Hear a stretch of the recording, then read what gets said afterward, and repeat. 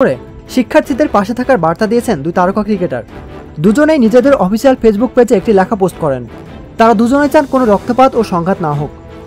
ঢাকা বিশ্ববিদ্যালয়ের ছাত্র